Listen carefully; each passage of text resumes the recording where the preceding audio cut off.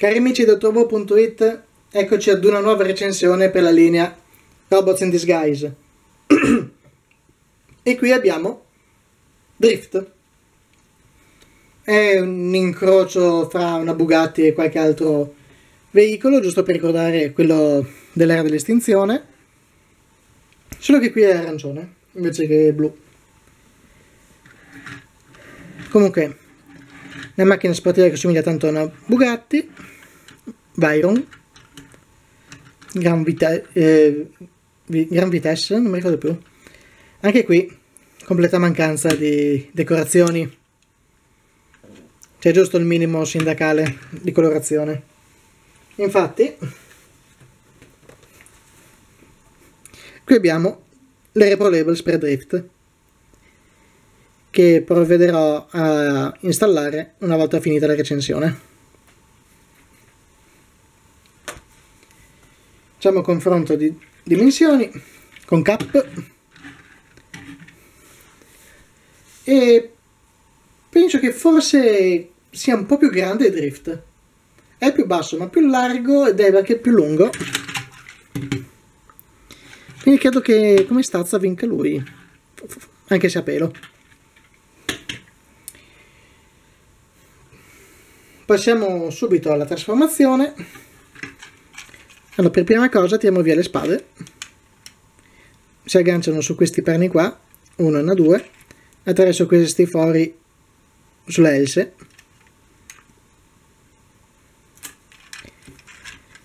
Poi apriamo le fiancate, le sganciamo da questo perno e le portiamo in basso su questa cerniera. Prendiamo il muso della macchina e lo ribaltiamo del tutto.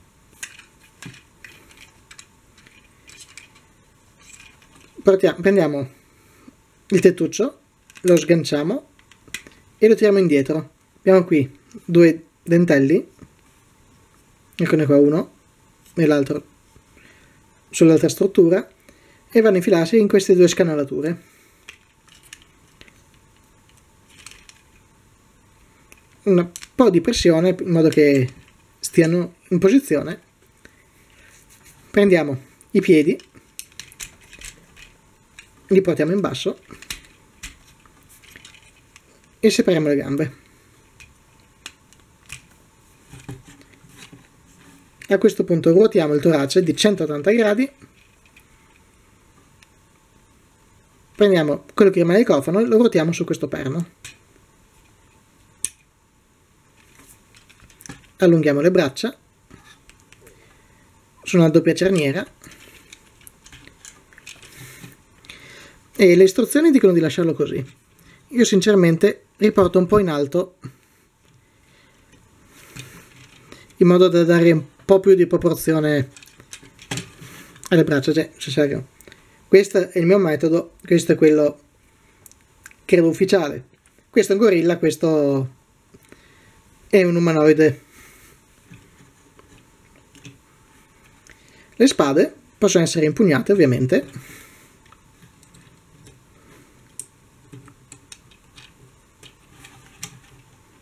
Oppure abbiamo qui due fori che permettono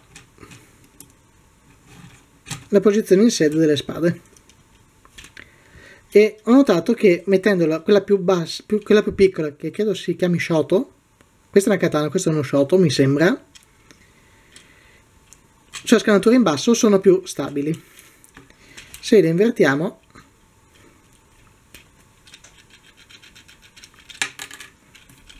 questa scivola. E questa fa fatica a entrare. Mentre messe così vanno fino in fondo senza alcun problema.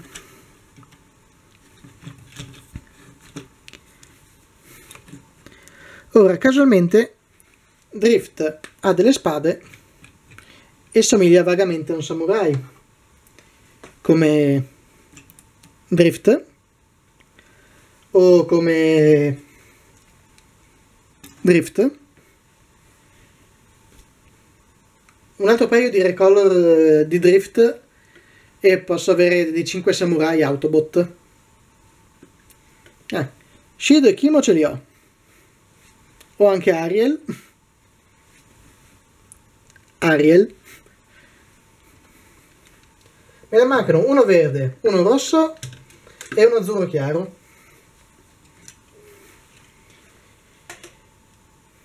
Sorvolando sulle cazzate c'è un piccolo zoom della testa. Scolpita molto bene però i baffi sono grigi. Dovrò e anche il pezzetto provare con uno sharp o qualcosa del genere e colorarli.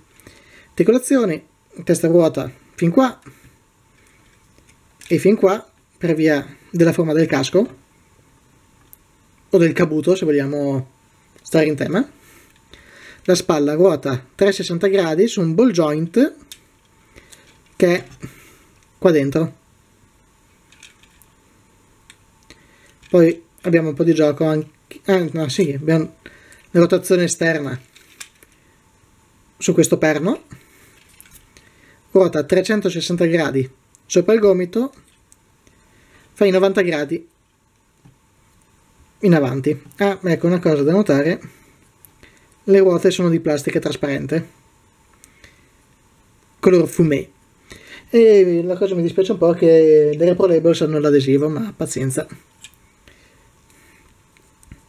Il polso ruota di 90 gradi in dentro. Per qualche motivo. Ruota tanto così e tanto così sul, bacino, sul torace a meno che non si sollevi un po' questo allora fai 180 gradi per la trasformazione ma se no col torace in basso qui tocca. E qui tocca. Gonellini sono su un perno. A frizione. Ah no è un ratchet. Possono essere aperti. In modo da liberare le articolazioni delle anche che fanno 90 gradi avanti 90 gradi indietro 90 gradi in fuori. E poi il gonnellino lo si adatta. Ruota 360 gradi sopra il ginocchio fai 90 gradi al ginocchio più o meno, no no 90 gradi tondi e abbiamo un po' di gioco qui col piede.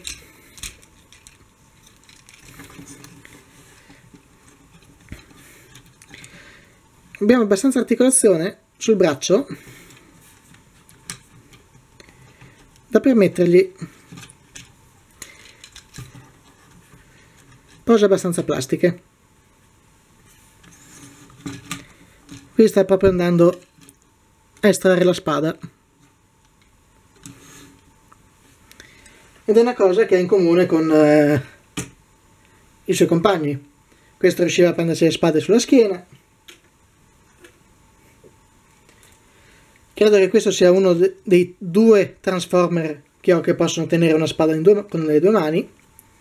L'altro è l'Optimus eh, Takar Age of Extinction.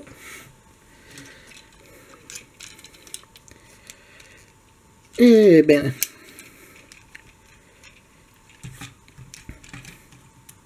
Ok. E adesso il motivo per cui uno. Butta i suoi soldi in un deployer.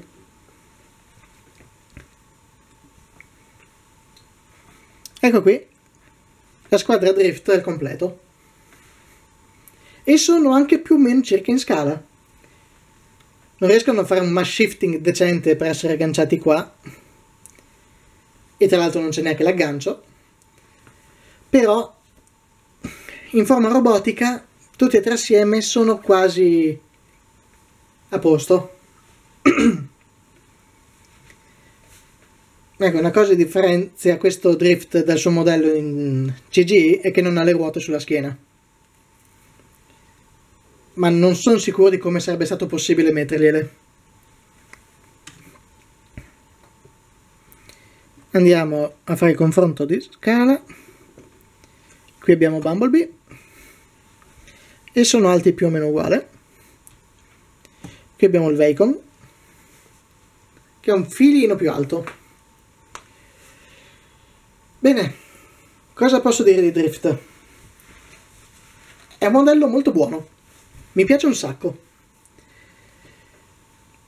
Ci sono un paio di cose che non gradisco proprio tanto, come le differenze di colorazione e la mancanza di pitture, col fatto che questi pezzi qua non si aggancino mai come Dio comanda.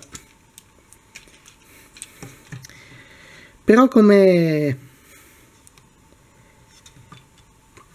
come modello non è affatto male.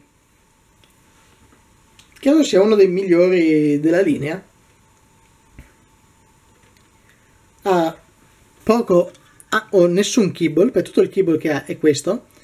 Questo qui come per Bumblebee va a fare i talloni, solo che qui funziona la cosa. Perché va a toccare terra. Qui dovrò limare un po' i perni, come ho visto nella molta cara dell'episodio finale. e ha una buona posabilità. Sinceramente è un modello che consiglio di comprare. E anche quello più verniciato, se vogliamo essere pignoli.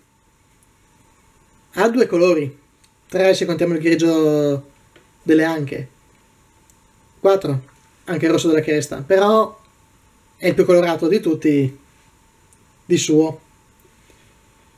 Bene.